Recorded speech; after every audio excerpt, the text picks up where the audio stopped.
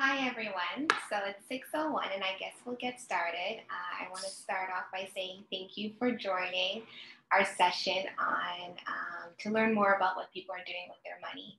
And today's session will be co-hosted by myself and Media, and we have our special guests, Carla Heruka and uh, Eric, that you'll be hearing from.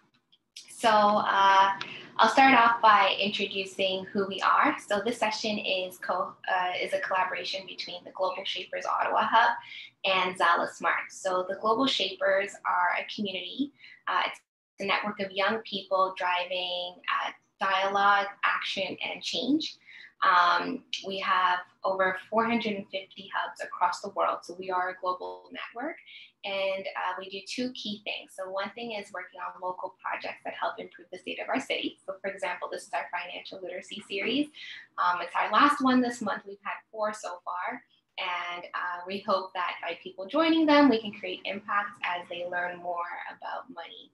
Uh, and ZalaSmart, I'm actually the founder of an organization called ZalaSmart, and we teach kids and teens between the ages of 5 to 17 the essential life skill financial literacy.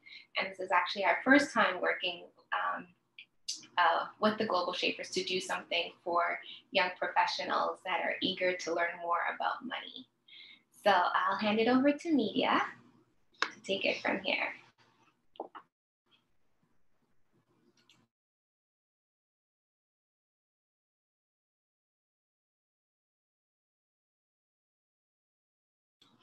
Oh, okay. We may have lost media, which is okay. So I, guess I'll just continue on. Uh, so I would love for our special guests to introduce themselves. Uh, let's start with Carla. Thank you, Zala. Uh, so my name is Carla. I'm a um, marketing, um, a digital marketing. So I'm a content strategist for the Telfer School of Management. And I went back to school about two years ago uh, to under, or I guess almost two years ago to undertake my uh, MBA. So I'm both a full-time employee and an MBA student at the same time right now.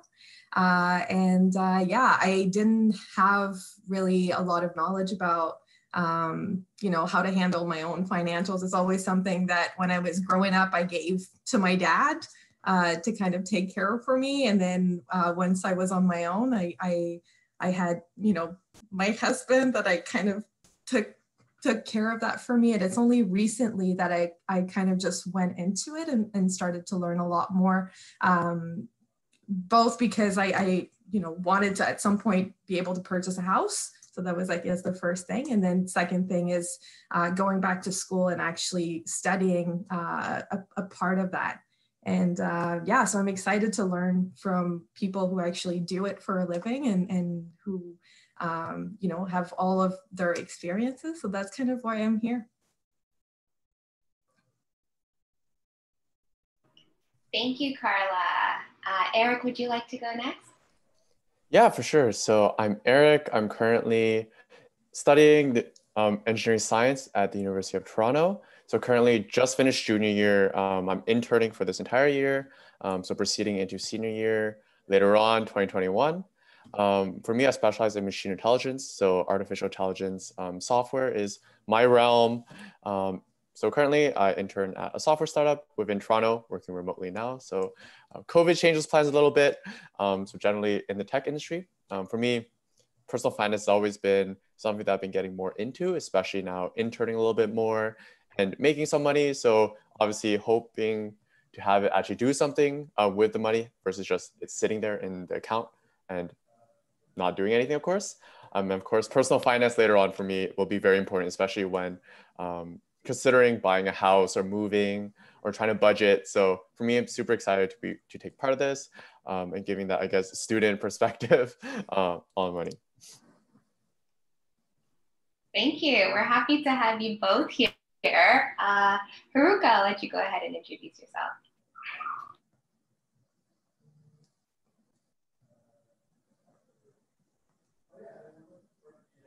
You're muted. You'll have to unmute yourself.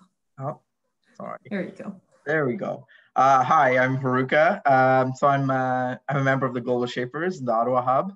Uh, my day job currently, I'm a director of finance uh, at a small tech company called Cubuto Solutions here in Ottawa. Um, by, by profession, I'm a CPA CA.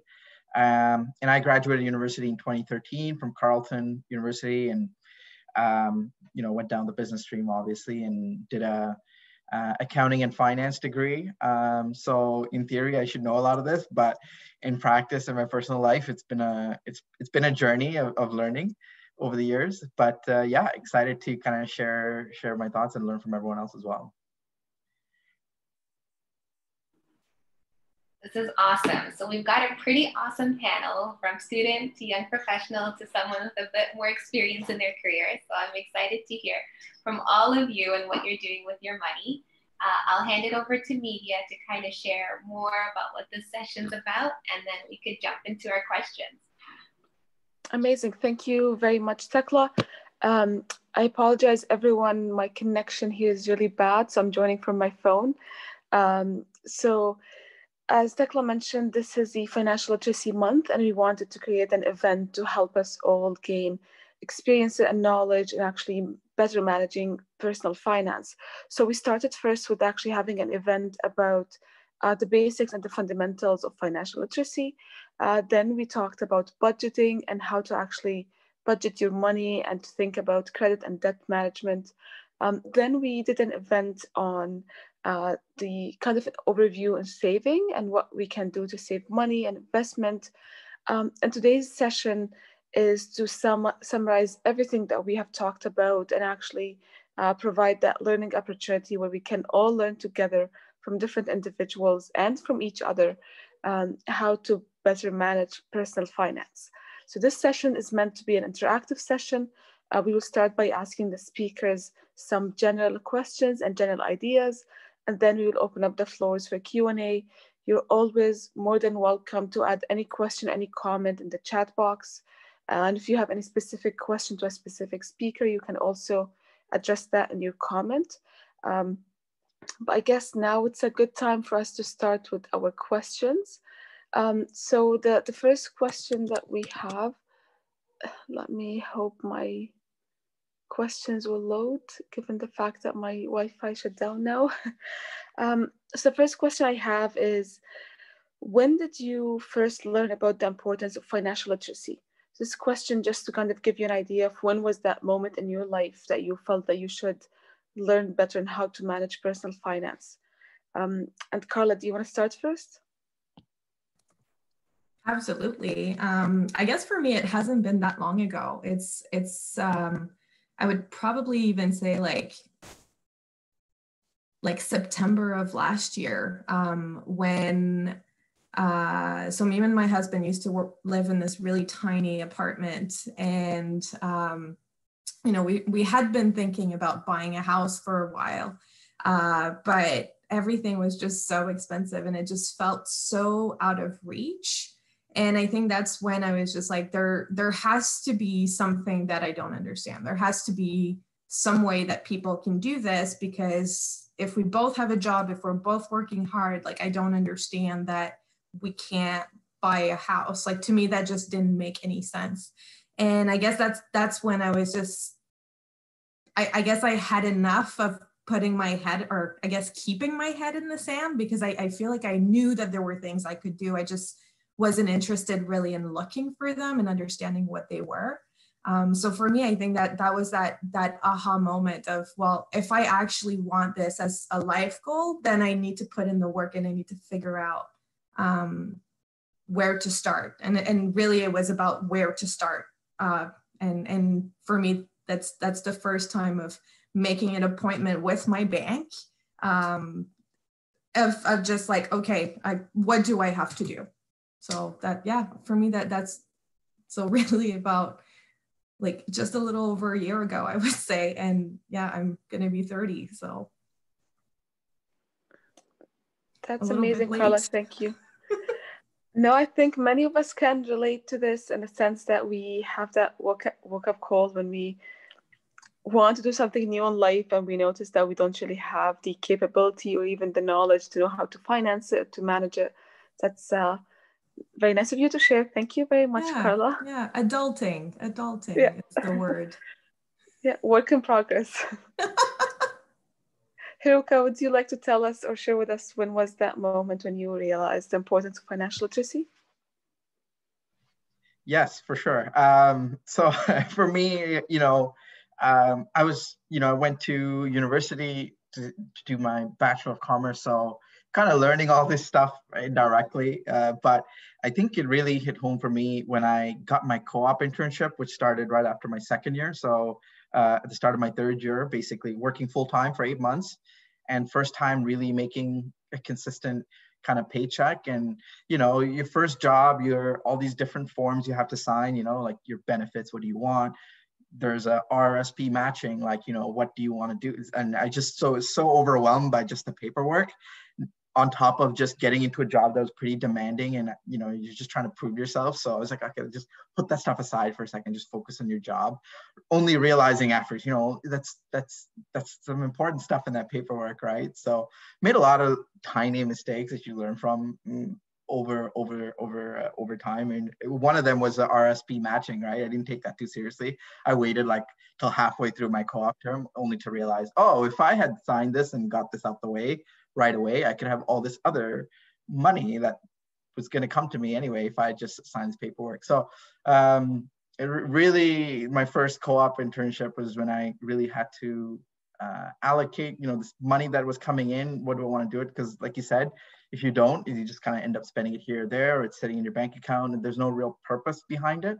Um, so that's what really got me thinking. And again, yeah, I think there's some milestones every in every stage of your life. And I bought my house. Um, that was a, point where I to like, okay, I really have to be rock solid on my budget. Otherwise, you know, you may not, you may you may turn into being a house poor, right? Where like all your money is going towards it, you're not factoring in all your expenses for uh, for your living and whatnot. So yeah, it's uh, it started in university, and then through all these kind of major life events, you kind of recalibrate and refocus. That's been my story. Amazing. Thank you very much, Heruka. It seems like both milestones and mistakes are the best teacher for financial Absolutely. financial literacy. Um, Eric, what about you as a student and uh, you're starting your kind of professional journey? Has there been a moment in your life where you, you realized the importance of financial literacy?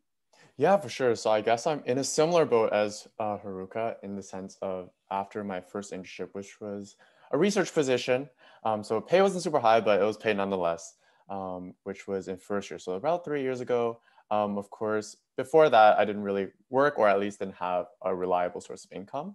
So at that point, now having because it's a consistent stream of income, um, for me, I always thought, hey, um, I'm not going to spend all this because I've never been um, a really big spender in anything. Um, so it was just kind of building up and I didn't really know what to do with it. So that's kind of when I went on my little YouTube binge.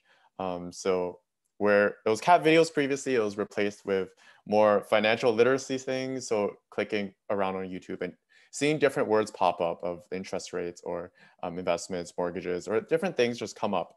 Um, retirement funds. So it kind of broadened my scope in a sense where it was kind of like a dose of reality where, yeah, money is important. Um, and this is something that'll be increasingly as important as there's kind of bigger milestones and more milestones in life.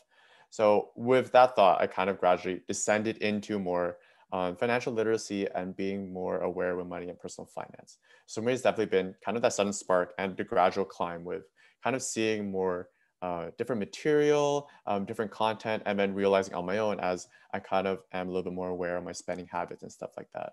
Um, eventually, kind of being more and more into financial literacy. This is wonderful. Thank you, Eric. I, I do remember um, la- early last year, I also went on YouTube and LinkedIn Learning Binge to actually learn the basics. And I took so much notes and I went to talk to my financial advisor and I took my notes with me to make sure that I actually remember at least the terminology. Uh, but your answer actually, Eric, takes to kind of a great segue to our next question um, which is how what resources that you use to build your financial literacy skill, if it was through a friend, school, family, or external resources. So, like you did mention the fact that you went in a YouTube binge, but are there any other resources that have helped you kind of gain some of that knowledge? Mm-hmm. So, for sure, definitely YouTube has been the starting source, um, not 100% of my sources, but has been a starting source in terms of inspiration and getting kind of um, quick terminology up. Um, for me, I guess in a technical major, I didn't have, I guess, the luxury of being um, more related to business. So for me, school wasn't really facet there other than maybe some school clubs. I kind of jumped in here and there. I feel like for me, it's been really offset by um, YouTube, which is kind of the basis. I've been reading more books. So definitely reading different books I'm definitely broadened my perspective um, more, where I could kind of take more notes. I could do highlights in them, um, just things that I could um, really establish myself at least in having a, like a value basis for, let's say, financial literacy. Um, and then slowly building that up through maybe talking to friends who are also starting to do internships. So kind of bouncing off ideas off of them. Um, and then also with my parents, where I could actually ask them about certain things with things like rent or owning a house or different things like that, things that I'll do in the future. So it's been a gradual climb of really self-learning through YouTube books and then eventually talk to more people, friends, parents, uh, people more experienced. Thank you very much for sharing with us, Eric.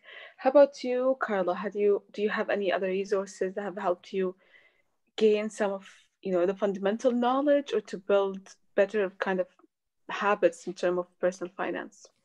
Yeah, well, I think once I decided to take the blinders off, because you know, like like before um before I guess last September, I was really um I knew it was there. I didn't want to look at it. It felt complicated. My previous jobs, we had accountant services that literally, like, for even like filing our taxes, we could pay the $80 and they would take care of everything and then kind of give it back. And I had that very hands off approach of because I didn't understand it, I was so scared of it.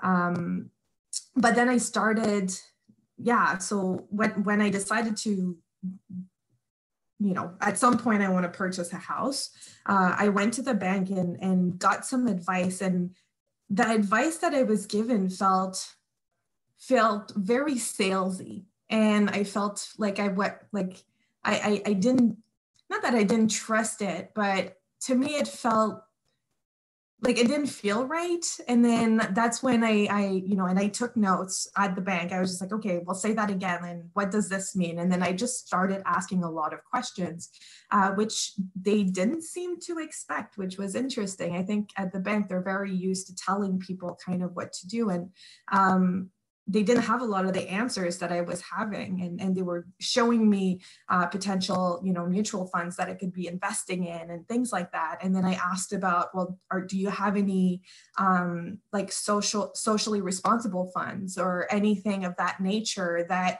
um, you know, if I don't want to invest in uh, in energy or mining or things like that, like what are my options if I do funds? And then they're like, well, we don't really have those portfolios and, and questions like that. And i'm like well that's that's weird. Like we're in 2019 back then. I'm like these things people know that they exist. So why does um, my bank not have this? And then i went online and then i, I found uh, Wealthsimple which um, completely changed my life i would say. So on there there's like a whole bunch of blogs. It, it kind of explains the differences between types of funds. It explains, um, you know, the, the, the RRSPs and the uh, direct investments and things like that. And just reading through it, I'm like, oh my gosh, my bank has kind of been they haven't actually been managing my money. Like I've been making less than inflation at the bank, which made no sense.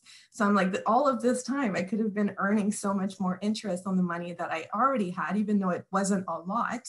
Um, well, that interest over time builds up, and then it, that's how you you end up growing. And all of these things, I guess, was just an aha moment for me. And and um, yeah, so Wealthsimple, but then I got super interested. And then at the same time, uh, you know, my husband was also reading up on on this, and then it, it actually became an interest of ours where we discussed it and and almost like a conversation of like, oh, well, I found this out. And be like, oh yeah, well, I found this out. And then just through talking um, and trying to one up each other, we got really good at understanding, um, I guess, personal finance. And we ended up not doing like almost nothing with the bank and, and kind of going our own route um, and doing a lot of investments through uh, the simple, you know, Wealthsimple. It's an app, by the way. If you guys don't have it, like I really recommend it, and because it allows you to even just play around with small amounts of money, um, and then you can see it grow. You can see what that projected value is going to be in the future if you maintain, um, you know, automatic contributions. You can do weekly top ups. Uh, so whatever you know, uh, it, it rounds the dollar on your credit card purchases and then all of those roundups get sent to that that that account. So for you it's it's pennies. It's it's not something that really makes a difference but in the long run it actually does make a difference. So um yeah best best tool for me definitely has been Wealthsimple and then just talking and then through talking finding new sources of information and and yeah just uh also school in my mba um uh i would say fortunately, but also unfortunately, I do have finance, uh, a finance class that which is for a marketing person, probably uh, the least interesting or most difficult class that I've had to do so far in the MBA. Um, so, so it's a lot of work and, and it's, it's very, very technical when you look at it like in terms of corporate finance. Uh, but then that also just adds a lot of information for, for stocks and, and if people are interested in purchasing stocks and what does that mean and what's the difference between stocks that issue dividends and stocks that don't. And, and yeah, so there's a wealth of information and it's just about talking and opening up a new door. And if you're interested, then go in it. And if not, there's going to be 10 other doors anyway. So it's kind of been a very non-linear strategy, I guess. No, this is amazing, Carla. Thank you, you know, very much. I I took some mental notes and stuff that I did not know about, and I was always hesitant to use Wealthsimple, but now you kind of encouraged me to try it. So thank yeah. you for that. Um, Heruka, what about you? Have you used any resources outside school, given the fact that you might be the finance yeah. expert in this call? No, uh, I resonated with uh, with the points made by both uh, Eric and Carla. I, I think for me, it's it's three things, right? So it's like your self learning. Um, you know, YouTube, the Wealthsimple blogs are are pretty pretty awesome as well. Uh, as part of that self learning, there's two books that I read that were really useful to me. I think useful to anyone who's trying to go into like the financial literacy, expand their knowledge. One is um, Rich Dad Poor Dad by Robert Kiyosaki. So I just think this is a good book just to get your perspective on how you can make money work for you and, and how to just change your framework of, of how you think of money uh, in, in uh, its relationship to your life. And then the other one that I, um, that I read that I thought was really great was um, I Will Teach You to Be Rich by Ramit Sethi. I, I don't like the title, it's a bit, but very, very practical kind of things down to even like your credit cards, right? Like, what does it mean if you're making minimum payments versus paying it off and, and interest, and just very practical um, advice uh, on, on how to manage your finances. So, uh, self learning was a big part of it. YouTube. Um, I, I, was just saying before this call, I was looking at a lot of Ben Felix, who was our speaker in our first session. A lot of his videos is useful. Uh, and then self learning. So, when I was in university, I was taking all these finance classes. I was personally I wasn't confident enough to like just put my money and start investing uh, at that time. So I actually went on Investopedia. You can do like a simulation. You can simulate, you know, however much money you have, and and you can trade real stocks and see how you're doing and how you're performing. And I thought that was a great tool to just learn um, how to uh, invest your money, though you shouldn't invest in individual stocks too much. We'll get into that later. But if you if you just want to understand how everything works in the stock market and want to play around, but not with your real money, just you know just playing around in a in a stock simulator with real world data that was really useful for me. And then the third thing was just really reaching out to people who I trusted and respected were uh, mentors um, or, or close friends and just asking them like hey how do you how do you manage your money? How do you budget, right? These are conversations that, I mean, a lot of people put a thought about um, within themselves, but it's not conversations that are openly discussed, right? Uh, so for me, talking to my friends has been very insightful uh, for me personally. You know, I, I have some friends who budget, who have they budget their money so intensely. They model out how many coffees they drink a day and how much that costs, and uh, and and and project out how much they should be spending on coffee and i'm like this is insane but I have someone who does that, and then some someone else who just ballparks. You know, they look at their credit card uh, statements here, there, and then they're like, I, I know, I know what I'm spending, and you know, so you just see the degree of how people manage their money, what they use, and then from there you pick up little tips and tricks. So uh, I, I, would recommend that to anyone to just just reach out to folks who, um, you know, good friends or mentors who you, who you think uh, have a bit more competence in financial literacy, and just just hear them out on what they do. I think that you, you learn quite a bit from that. Thank you very much, Heruka. Seems like the YouTube Academy is our at least common foundation for all of us. So this is amazing. Um, you actually talked briefly about reaching out to friends and asking for advice. So I'm just wondering for Heruka, uh, Carla, and Eric, if any of you have received any specific advice or suggestion that helped you really change your views about personal finance and managing personal finance. And if you can't think of anything else, it's not a problem. I, I can jump in if, uh, oh, yeah.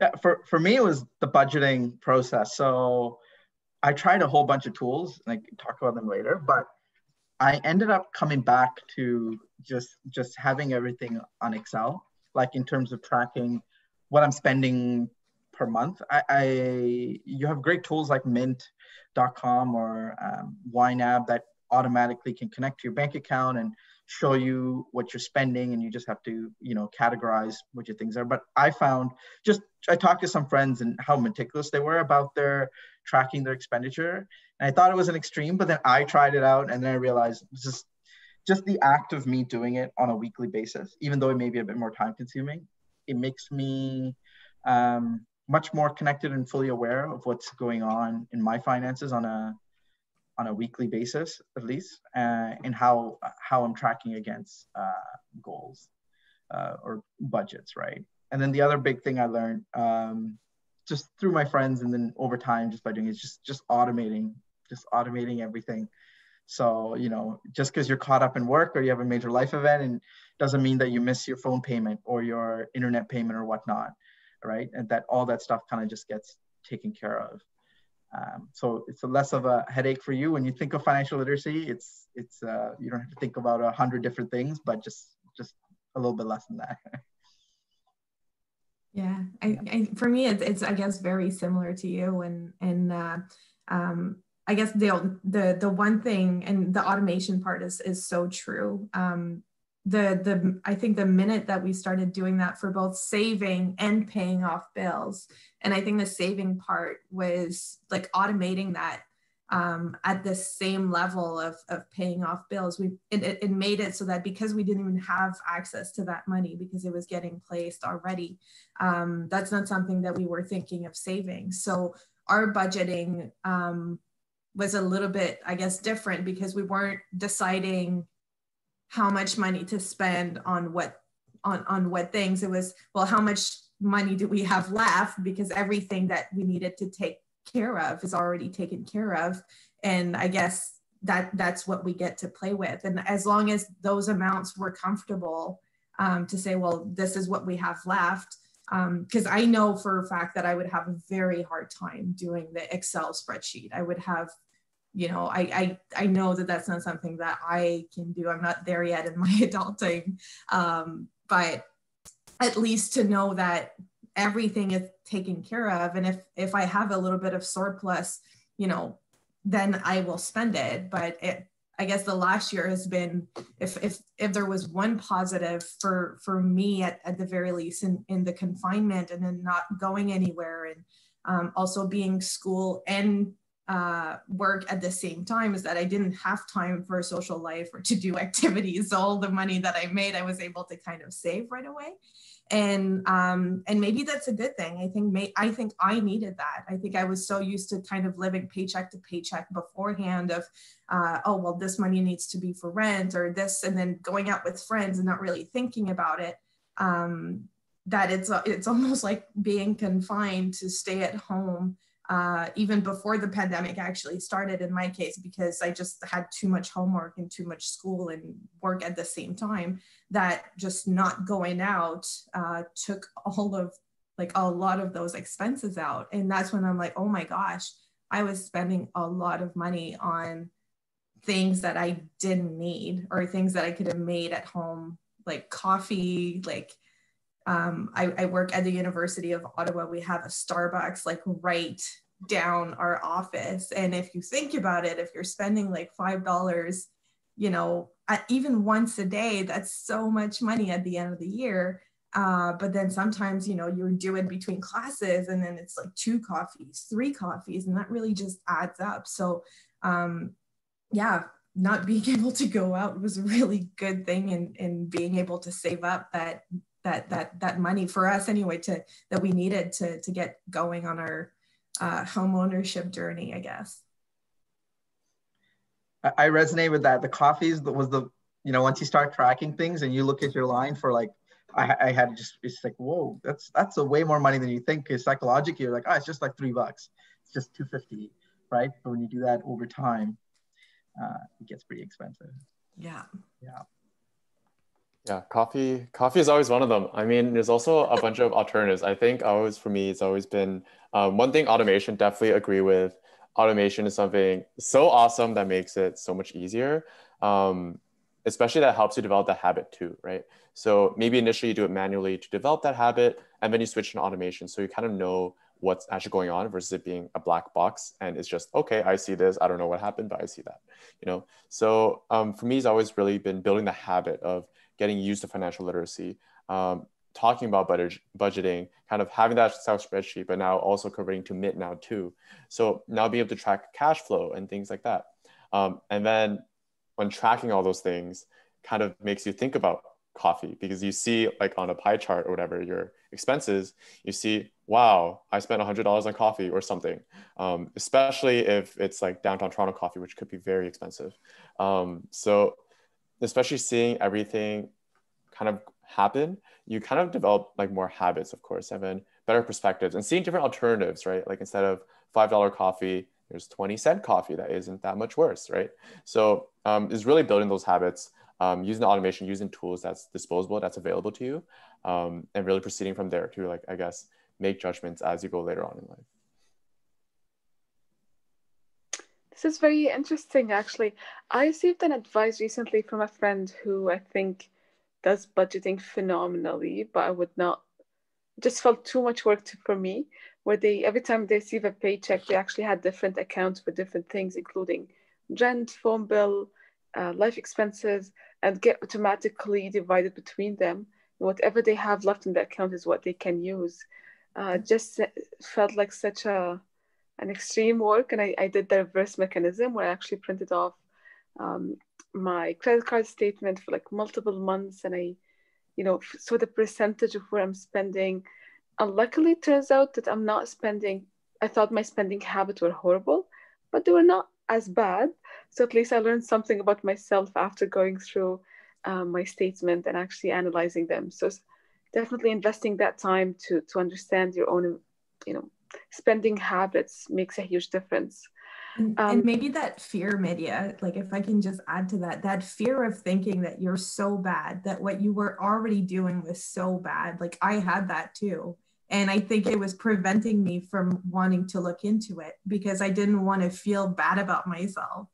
And and it's it's almost psychological. It's it's almost like it's something that you know is there, but you don't want to look because it's it's about you really because it's about your own spending habits. It's about what you um, you choose to do. And but i too was surprised that when you actually look at it it's some things i was like oh my god that's ridiculous and i have to stuff that out. But there's also a lot of stuff that it's like no it, it's things cost money. And some things like when you do the exercise of like what can you actually cut off um, well, you know, I think everyone's going to be surprised that some things that you can cut off, but then there's also a lot of stuff that's that's just what life is. Like these things are expensive and, and that's okay too. But being able to get beyond that fear to even have a look is such a big step.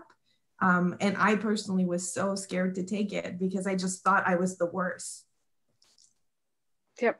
No, I understand. I completely agree with you. And even to me, to just go talk to my kind of bank advisor, on different accounts and different things. I was so nervous even going because I just I did not even know the basic terminology. And people use lots of acronym all the time and they throw them at you. And I'm like, I do not know what any of this means. Um, so even spending that time to understand my own habits and learning a little bit, just enough to get over a conversation and not to be shy to ask questions, that definitely made a huge difference for me.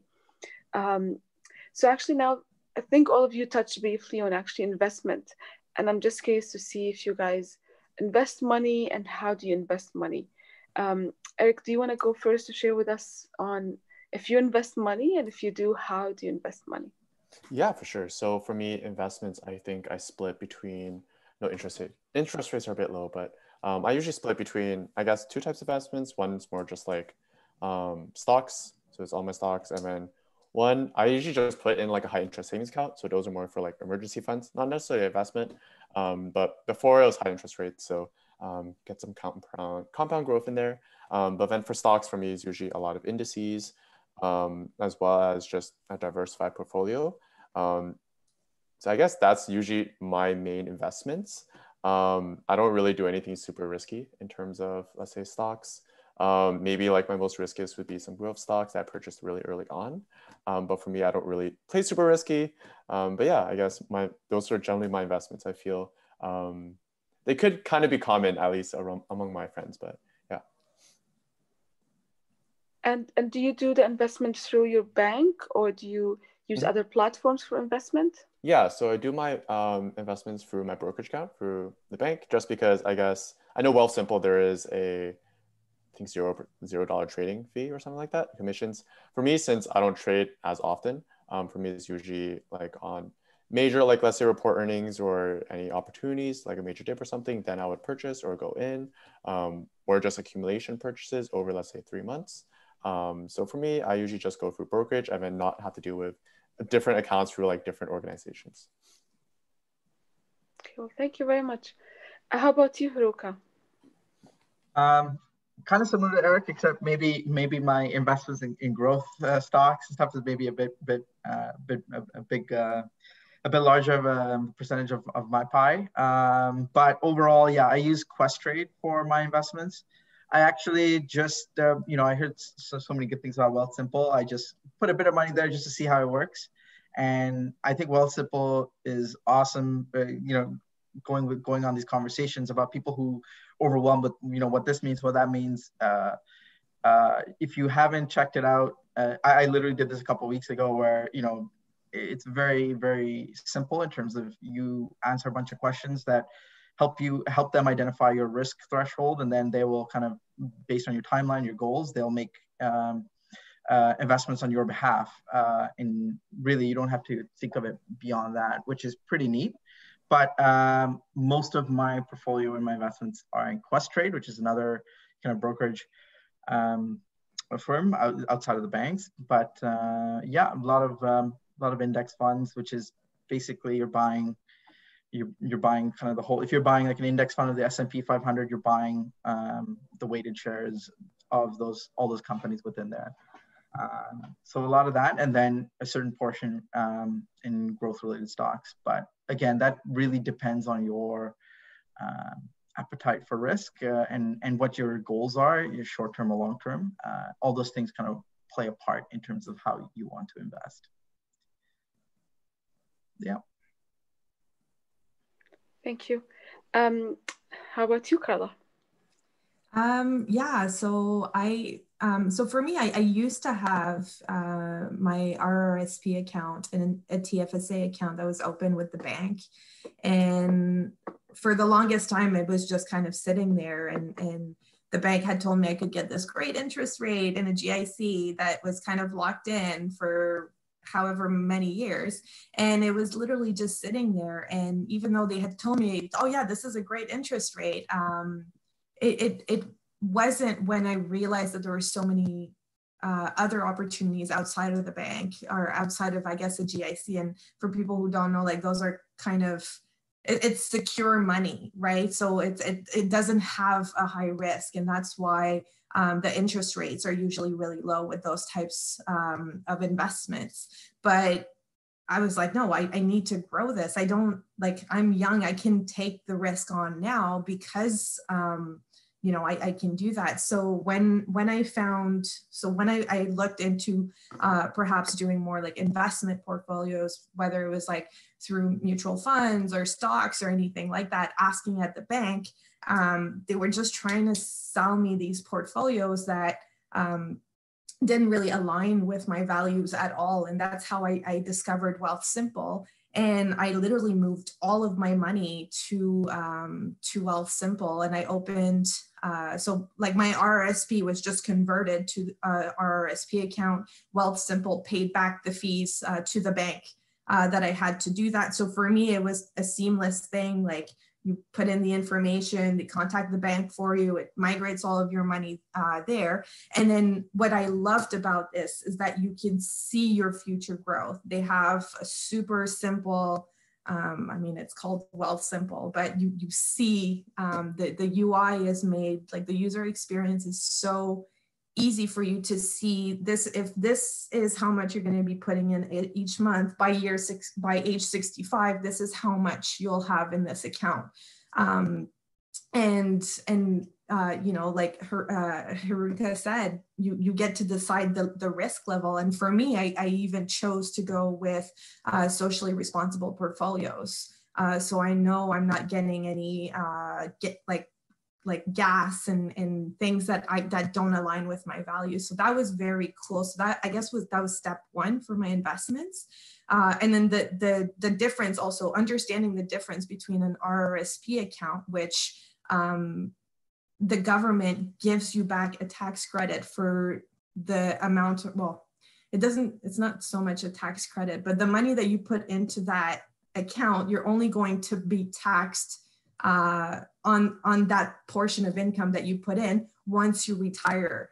Um, so that means that at the end of the year, they kind of give you back that portion that you would have been spending on taxes. You get to keep it and invest that as well um, if you can. So understanding that you could grow your money like that faster now um, was super cool. And then the other one was the TFSA, so the tax free savings account. So those accounts are also any type of investments account that you can put your money in, and any interest that is earned, um, you're not taxed uh, on that interest. So um, so of course there's a cap for how much you're allowed to invest in both of those accounts per year. But for me, I'm nowhere near reaching that cap. Um, so so I'm just you know kind of like putting it in as much as I can um, with with what we have. But that kind of was my early strategy to to invest was just okay. What is out there? What's the difference between the two? So I, I do both. I have a TFSA that's um, you know more like just my my day to day like that we get to kind of keep that um, if there is an emergency like we can kind of pull that out.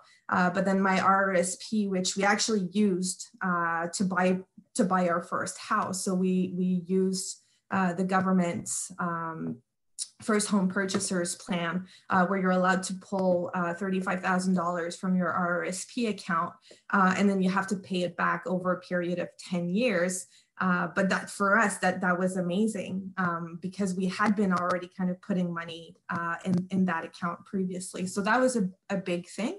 And then I, I also open because Wealthsimple has both. It has the investment and then it has like the T, uh, TFSAs and RRSPs, but the investments account, like the stock tradings accounts, and I think that's what Eric was talking about.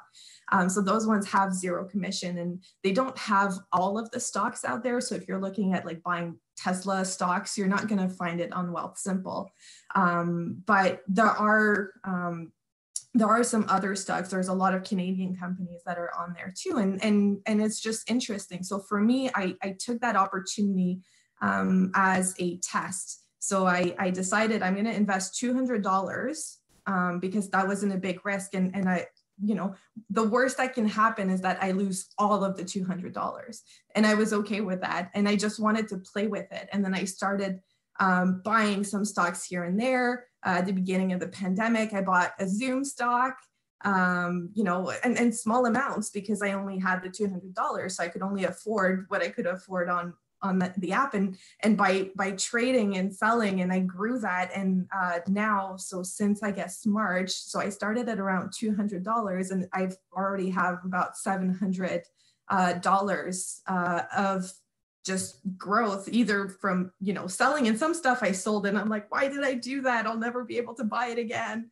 Um, so but it's it's through doing mistakes and and through trying things. But anything that happens to that account i'm like whatever. It was only $200 to start with anyway. So my my appreciation for risk on that account specifically doesn't hold the same importance as it does on my RRSP and my other like TFSAs that are more like my savings accounts. Um, so yeah, so do both, like play, but then you know also invest and save. Thank you so much, Carla. I think I'm, I'm taking so many mental notes as much as possible at almost 3 a.m. in my time zone. So I'm, I'm learning a lot. Like I don't want to even go back to sleep after. so thank you all uh, for sharing. I believe I asked all of you to answer this question, but if I didn't, please jump in. Um, I know some of you have mentioned that you're all using different resources to help you manage personal finance. I know you talked about Mint or Excel sheets, but any of you use any different um, tools that you're using to help you manage finance, whether it is investment, budgeting, uh, or any, any other element?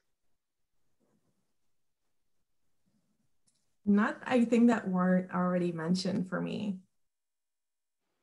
Okay. How about you, Eric or Heruka? Any other tools that you're using? I guess for me, it's mostly just spreadsheets, Mint. Um, I guess my brokerage account, like my bank's account, those are mostly kind of everything I use. Yeah, I um, Excel Excel's a big one for me. Uh, I've kind of gone back to that after trying a bunch of things. But if if someone from a, from the budgeting perspective and just keeping track of your finances, um, the two I mentioned earlier, Mint.com or YNAB, which stands for You Need a Budget.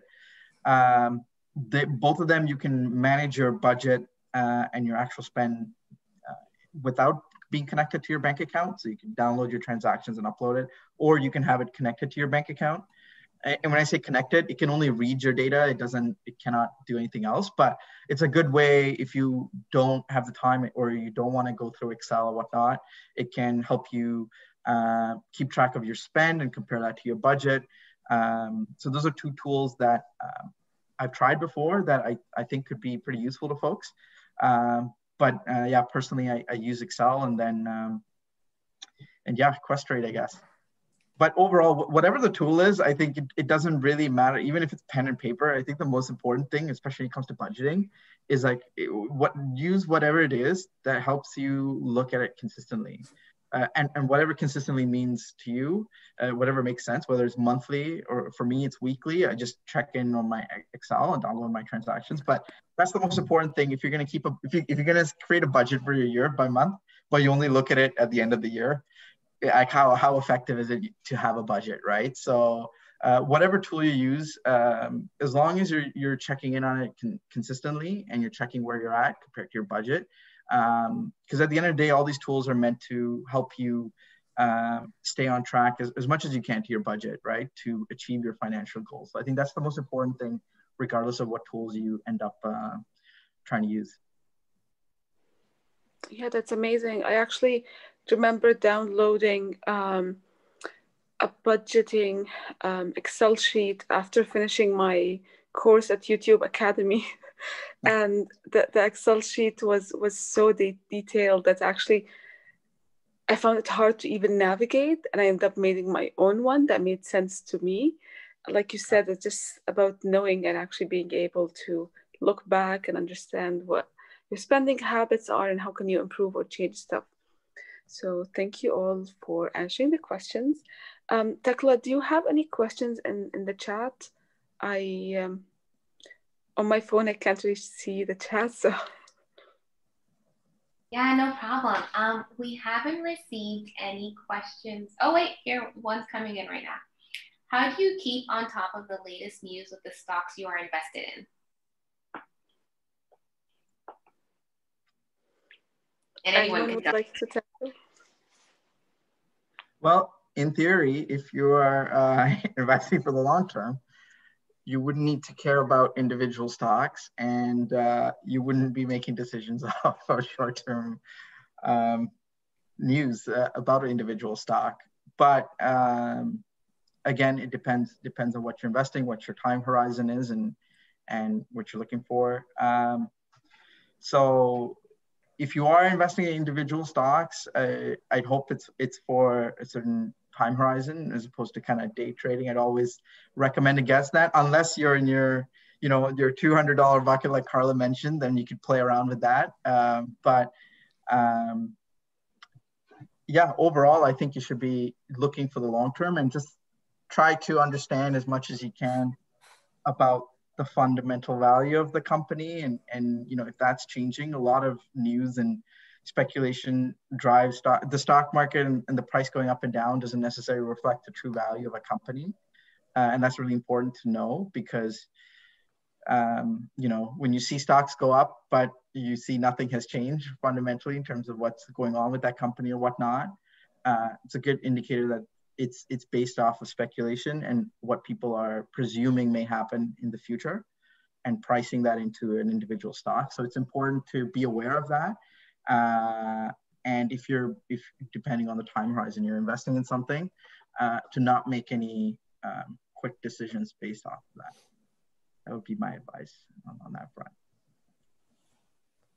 Yeah i think i think that's good advice. I think um, in in terms of if if you're going to do, i guess do it yourself if you're going to like just be kind of digging digging in and, and jumping into the, you know like a $200 kind of uh, fun like play uh, playing one of the things that um, what was really i guess interesting for me is to expand beyond uh, the popular um, um, like the, the popular stocks that people talk about and look at actually like what vertical um, they're in. So, for instance, like Tesla is doing amazing.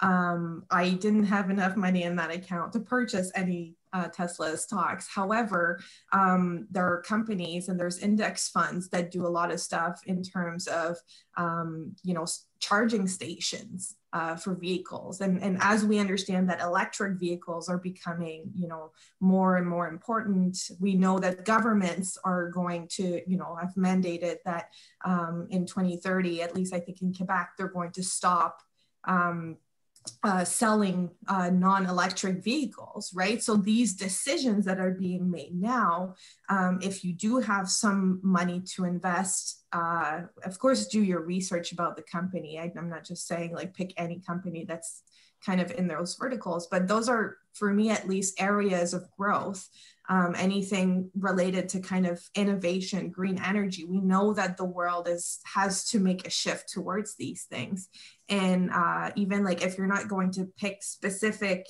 um, specific stocks themselves if we're if you're looking at portfolios we'll consider doing uh, green portfolios or, or socially responsible portfolios and things like that that align kind of with your values and just your view about the world. Because i think when you do that um, it doesn't matter if you know anything about stocks if if that decision feels good because you can align your values with it um, I, th- I think that's already good indication that it's it's you know it, it's going to, to to to go somewhere for you. So um, that's kind of the approach that I, I guess it's more like go with your gut but not entirely but look at the context that we're in and, and try to anticipate where these things are going and anything around kind of innovation and, and like those types of things there's companies are, are going to be needing it if if yeah especially whatever happens after covid right? So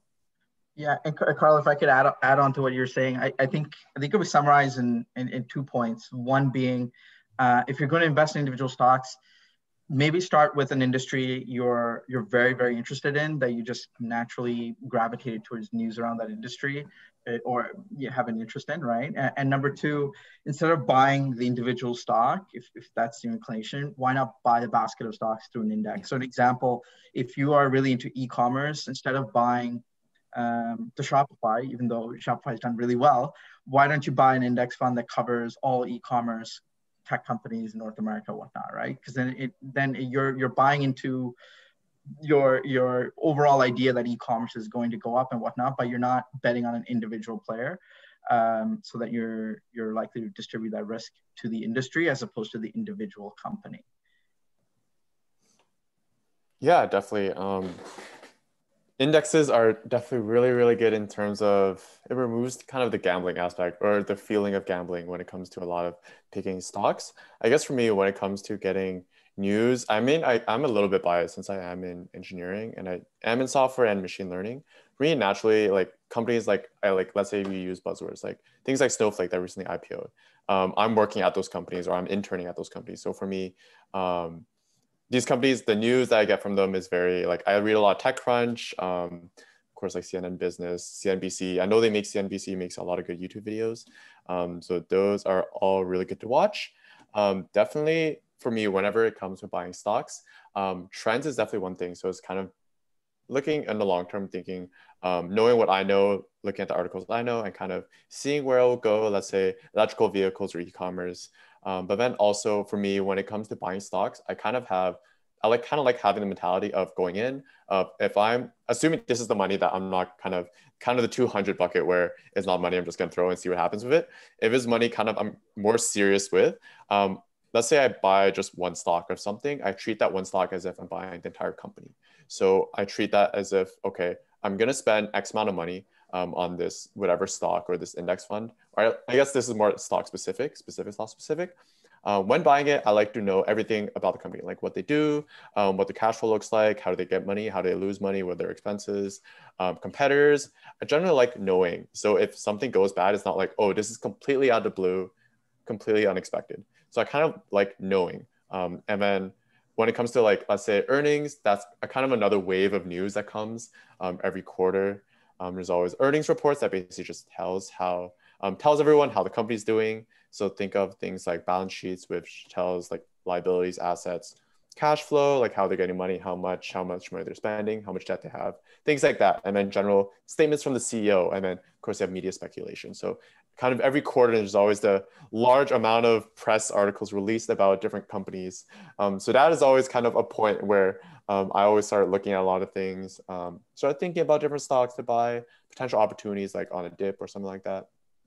But for me, generally, of course, when picking stocks, definitely treat it as if I'm buying the entire company. So I do care about um, like their business outlook, the risks, the risks they have, so I can understand those risks for myself as a shareholder, even if I own, let's say, a millionth of a percent of the company. Um, for me, that's good information to just have, right? Since it is money that I'm spending and it's money that I could be spending on something else, like a hobby or on $5 coffee, you know? So um, that is all very valuable to me, at least when it comes to news and actually purchasing stocks. Yeah, thank you all very much for giving us lots of feedback and ideas. And I know I learned a lot. Um, I think I will keep buying my $5 coffee because that's my one joy in life. I'm trying to reduce as much as possible. So it's definitely work in progress. Uh, so I'm really delighted that you were able to join us and that you were able to share your knowledge, your time, and your experience with us today. Um, I know I learned a lot, and I'm sure everyone in this call learned it as well. Um, Tekla, is there anything else you would like to add? I just want to thank everyone as well for coming. This is the last part of our financial literacy series. So that for those of you that were there from day one, um, thank you so much. And, and those, of course, who also joined today. Um, all our sessions are have been recorded and, and posted to YouTube. So if you did miss any of them, uh, you can definitely have you, you you can have access to them, and we could send out the link uh, via email. And this session is also being recorded and will be posted. Um, I guess the last thing I quickly wanted to say is um, we spend so much time working hard for our money, so um, it's definitely not a bad time, bad thing to spend some time to make sure we're managing it right. And um, I really hope that's that's a big takeaway that you've taken from our sessions. Uh, and and yeah, thanks to our guest speakers, uh, very insightful information. And yeah, I guess that's that's about it. Thank you for having thank us. yeah. Thank you, everyone. Appreciate it. Thank you. Thank you, guys. It was lovely meeting you all, and we will keep in touch virtually till we meet again in real life. All right. Bye, guys. Bye, everyone.